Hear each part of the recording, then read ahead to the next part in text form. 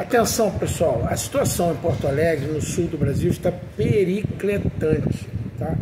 E todo mundo sabe, né? Nós combatentes sempre é, exercemos a cidadania. Infelizmente, nós não estamos fisicamente em Porto Alegre, mas podemos fazer doações. Entendam o seguinte: não estou recomendando nenhum local para doação, você vai procurar, porque anos atrás a Combate foi é, iludida por um grupo, né?